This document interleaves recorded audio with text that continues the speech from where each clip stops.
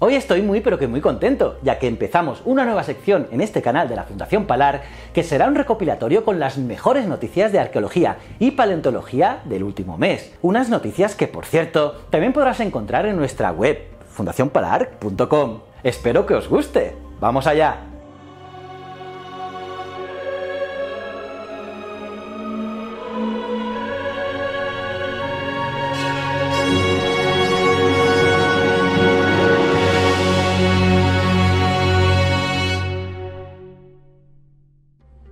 Turquía desvela los espectaculares descubrimientos en Karajantepe. A pesar de que ya se tenía conocimiento de este yacimiento desde 1997, no fue hasta el 2019 cuando se empezaron a hacer las excavaciones. Y esto fue debido a la situación conflictiva debido a la guerra civil en Siria, que hacía muy difícil todo el proceso. Pues bien, resulta que cerca del actual San Liurfa se construyeron a mediados del siglo X a.C. un conjunto de templos en Göbekli Tepe lugar que se convirtió en el epicentro de una cultura en la que destacan los templos circulares de piedra decorados con columnas antropomorfas talladas con todo tipo de imágenes de animales. Y fue en esa época cuando en la colina de Karahan a solo 32 kilómetros, se fundó otro poblado que para muchos científicos es el primer poblado de la historia. Sí, sí, lo que oyes. Y es que allí contamos con residencias fechadas en torno al 9400 a.C.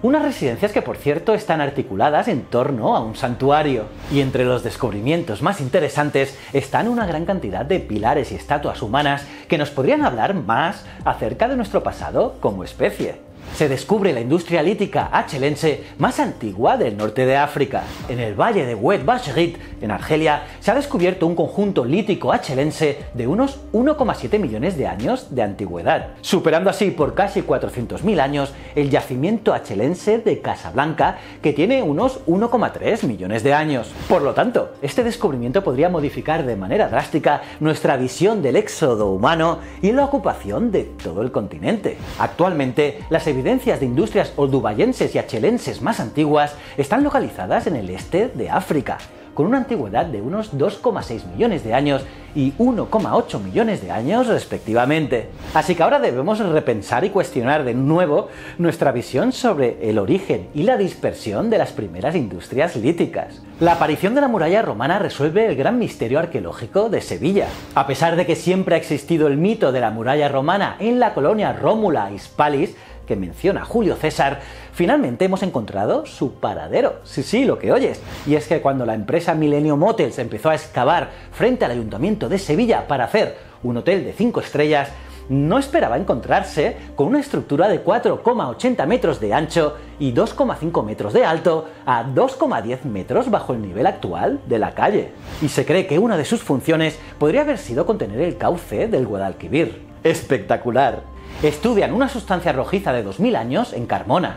Andalucía vuelve a ser el objeto del estudio, y esta vez nos vamos a Carmona, en Sevilla, donde en la antigua Carmo romana estudian un líquido rojizo conservado en tal estado durante unos 2000 años en una urna de vidrio que contenía huesos de un difunto. Pues bien, los investigadores han descartado que dicho líquido se tratase de vino o aceite, considerando los expertos que se trataría de una disolución acuosa de esencias de plantas aromáticas. Curioso, ¿verdad? Pues bien, este descubrimiento supone todo un hito para la arqueología de la localidad, dado que al permanecer plenamente sellada a lo largo de los siglos, esta cámara sepulcral subterránea ha mantenido durante milenios unas condiciones ambientales perfectas, lo que ha permitido la muy buena conservación de material orgánico descubren unas pinturas rupestres en Navarra. Pues sí, en la cueva Alquerdi II se han descubierto unas pinturas de unos 25.000 años del periodo gravetiense. Pues bien, estos hallazgos consisten en una docena de representaciones figurativas grabadas,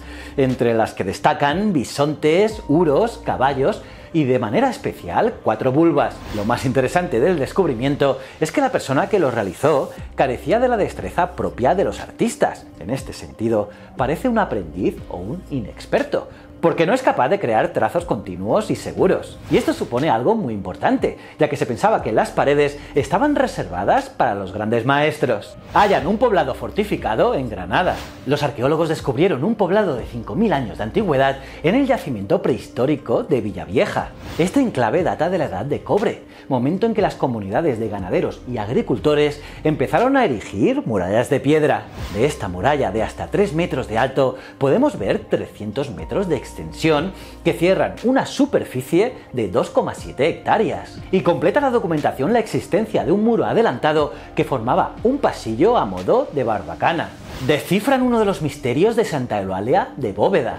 Este edificio lucense data de la época romana bajo imperial y no se tiene muy claro cuál fue su función a lo largo de los siglos. La teoría más extendida es que fue un templo pagano de época romana posteriormente reconvertido al culto cristiano. De lo que sí se tiene ya certeza, mediante el análisis del material de los muros, es que sus frescos datan del siglo VII, por lo que son una muestra destacada de la pintura cristiana tardoantigua. Encuentran la mandíbula de un guerrero bizantino suturada con hilo de oro. Durante unas excavaciones en Tracia, al norte de Grecia, se encontraron los restos de una cabeza de guerrero bizantino en el fuerte de Polistilón. Sí, sí, encontraron solo la cabeza, pues los otomanos eran conocidos por decapitar a sus enemigos derrotados. En el cráneo que pertenecía a un hombre de unos 35 o 40 años se encontró un golpe frontal que posiblemente le causó la muerte. Pero lo más interesante es que había muestras de una fractura en la mandíbula de 10 años antes de su muerte. Y lo curioso es que se logró recuperar, pues se mantuvo unida usando un fino hilo de oro. Y sí, sí, y se sabe que era de oro, pues no dejó ningún tipo de marca o de colocación en los huesos. Y claro, como el cráneo data del año 1308, esta intervención quirúrgica es toda una proeza para la medicina del momento. Finalmente se resuelve el misterio de los etruscos. Los etruscos han sido uno de los pueblos más misteriosos de la historia. Esta civilización que prosperó en el centro de Italia siglos antes de la fundación de Roma y que se convirtió en la primera superpotencia del Mediterráneo occidental, tenían una cultura y expresiones culturales únicas. Eran increíblemente hábiles con la metalurgia y tenían un idioma no indoeuropeo que siempre ha sido objeto de debate. Sí, sí, no hablaba como los itálicos.